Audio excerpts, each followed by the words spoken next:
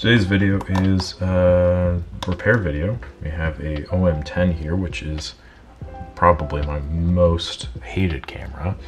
I don't like this camera for a number of reasons. One, it's cheap construction. Two, the lack of a fixed shutter speed system. Let's see what else. What else do I hate about it? Just this shutter button itself, because it's it's positioned in a way that you'd think you can move this somehow, but it but it is actually uh, fixed to the body like that. I also hate the ASA selection, which is no no no stranger from the OM2, and I think the advanced lever feels cheap and crummy. Um, alternatively, it does have a fixed hot shoe, so proud of them for that. But the camera itself, uh, this one in particular, has a really annoying issue, which a lot of Olympus cameras have, which is this gear right here. Now, this gear sucks. I hate it, but it's okay. We'll talk about it. And this is basically the take-up or the connective spring for the take-up spool of the curtain mechanism right here. So underneath here sits the spool for the curtain. The advance lever targets this thing here, which will then rotate this. Now the problem is, is there's a spring that sits under here. Let's move a little closer for you. So this spring that sits there requires a certain amount of tension, and that is to make sure that this little notch there lines up perfectly with that little bunny ear right there. And if it doesn't do that, then you're fucked. And I've had this camera for much longer than I'd like because uh, it is a friend of a friend's camera. And so sometimes stuff like this will happen where like I'll have someone's camera and I'll like forget about it because I don't know, I moved twice in the span of a year and then I had a bunch of other like random orders that I had to work through. It, it's just, it's been kind of a chaotic time. So some things fall under the radar, unfortunately, and I feel terrible about it, but I dedicated a large portion of today to finish working on this, and I discovered what I believe could potentially be the resolution. Now, tell, sometimes all that's required is a little bit of remaneuvering things in order for it to line up. For this special camera, that was not the case. Something like that. I'll go with that. Um, basically, what was happening is, regardless of how many times I like repositioned it and um, it would reset to being a pain in the ass. So then, over the course of many moons, I replaced most of the parts on the bottom until finally today I think I have found out what was wrong with it. Which was, of course, the tension of the spring that sits under it, which was something that I mentioned earlier as being very important. Now, I'm not entirely sure that this is actually going to work. If it does, I will probably cry a little bit, but it's okay because you can't see my face. If it doesn't work, I will also probably cry a little bit, but that's okay again because you cannot see my face. So, aha, caught it. So what we're looking at here, the main mechanisms of this system is this little catching thing here, which catches, let's see if I can zoom in a, a smidge for you. Scoot that up. Okay. Um, this catching mechanism grabs that little peg on the gear. And then there are two screws. Fuck. I always get this goofed up because on some of the cameras, the cross-threaded screw is the gray one or the silver one, and then on others it's the black one.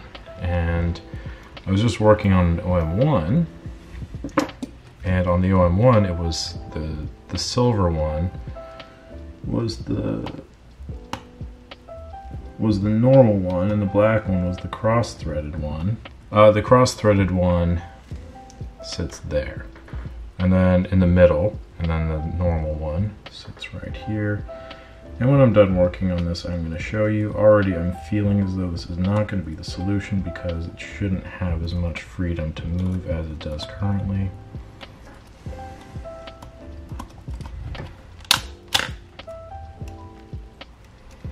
But let's let's give it a rip. The other thing too that I wanted to point out about this repair that's very annoying is repositioning this gear is not a picnic. And I also just... God damn, I think I just lost all the tension.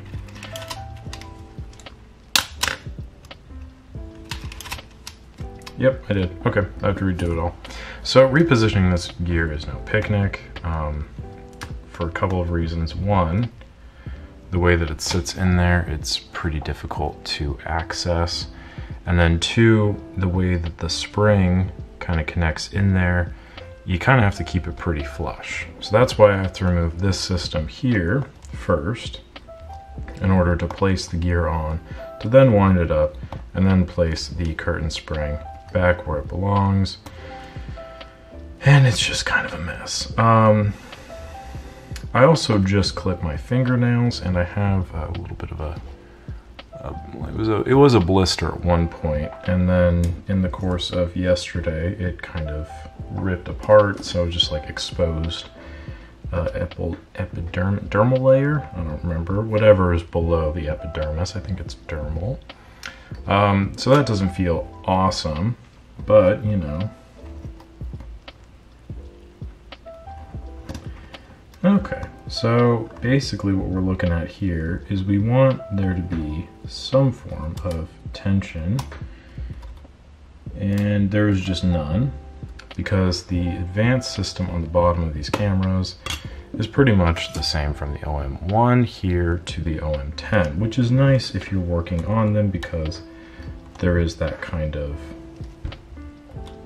that like near direct translation of parts. However, it is inconvenient because value-wise, in my opinion, I think the OM1 is much better than an OM10. The OM1, despite my kind of not super positive feelings towards it, uh, just functionally is a better system. Okay, what the fuck? So this is just working now. Oh, that's that's annoying. Okay, well, I, I, okay. Um, functionally, the OM1 is just a better camera. Straight up. It is mechanical. It does have the shutter speed selection on it as well. It's also not like half made of plastic, so you're never like too bothered about it like breaking all the time like the OM10. We'll get back to that. And also, let's see, I goof this up. Oh yeah.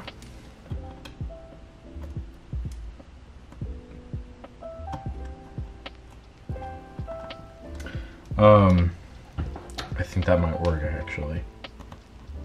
I'm gonna have to reset that a little bit, but yeah, so there's the stopper that sits right there and you can kind of tell there's a little discoloration at the top and that is where the screw sets and this silver one here is in the middle and it's a cross thread so it's to be lefty tighty righty loosey um, this obviously this line up there is not going to work so I'm gonna have to reset that and again we have to be very delicate because we need to lift it just enough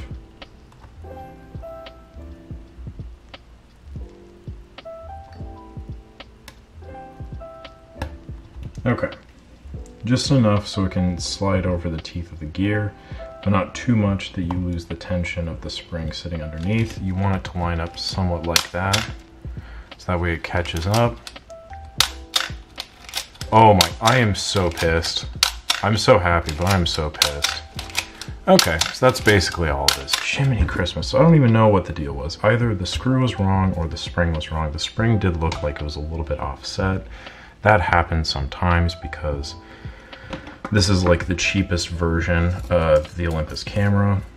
Potentially the OMG is cheaper because I think it's, oh my god, this is so garbage, um, which is what the OMG stands for, but I think for all intents and purposes, this was the entry camera because like, why would anyone need a shutter speed manual adapter? We'll just shoot everything in auto, that'll be fine. Just stupid. This is the dumbest attachment, I hate it so much, but that's okay, moving on basically the point is is that after a long period of time either in rest or in charged position the spring lost its tension and thus made it difficult for it to reset properly, which caused that spring to not wind up back how it should, which meant that the other gear was not resetting properly, if that makes sense. So let me just draw it down real quick. If I can find a piece of paper. Okay, so I'll just use my Olympus notes here, the back end of that. So we have the, let's use this pen, the gear that sits here, right? And then we have the other gear, some, something like that. Yeah, that's that's good enough. Okay, so these two gears need to interact in a certain way, and then there's this gear here, which has the little stopper right there. And so what you want to have happen when you advance is that this turns all the way here, and then the spring that sits underneath here will then revert this back to this position. What it was doing, because this spring wasn't tight enough, this gear was kind of moving back into this position. And because there was no tension, there was nothing causing it to fling back. And when it wasn't doing that, then this wasn't resetting to its proper position and it would be kind of sitting like this.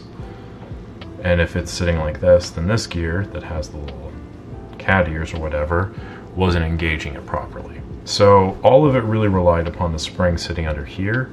Now, this is typically what happens with these cameras. Um, sometimes it does require a complete spring replacement. Other times it just requires to be reset manually. It all depends, but eight, seven, eight times out of 10, this is the reason why your Olympus, your OM1, OM2, OM3, OM10, OMPC, OMG, OM4 maybe. I'm not. I've worked on one OM4 and it wasn't for this issue, but regardless, all of those, if they're not firing, it could be because of this. Like if mechanically they're not firing. If, for instance, you have an OM2 that is just doing one of these. This is actually a really good example. So you have an OM2 that's just doing this, quick way to reset that, move it down to bulb, and I'll pop it down, and it will fire on bulb mechanically, but it won't fire on any of the other speeds without batteries in there. You can check the batteries by doing this. Uh, there's a light there. Pressing up on this, the light should turn on. It's a red light. If it's not turning on, you need new batteries. Um, even on manual, it will not fire at the right speed. So you have to go to B, press down on here, move it over to the bulb, and then you can fire mechanically. If it's not firing mechanically, it could be because of that. Um, the OM1, the only thing preventing it from firing is mechanical issues, and this is usually where it stems from, in the bottom. So, oh my god, I cannot believe that I've had that camera for like a year, um, but I'm done now. I've I've moved. I'm done moving. I'm working on the things I have. I'm sorry for delays. I hope this was a beneficial thing for you to learn. I'm kind of on a little bit of an Olympus tear right now. I really don't like those cameras, but you know what? I think they're great for other people, just not for me. So that's those are my two thoughts. Um, but I appreciate you watching, as always. Thank you. I hope you learned something. Uh, if you did, make sure you like the video. Subscribe to the channel as well. I do need to clip my fingernails a little bit better. But yeah, thank you very much for watching. Hope this helps. Comment any questions you have down below. Appreciate it as always. Catch you on the next one.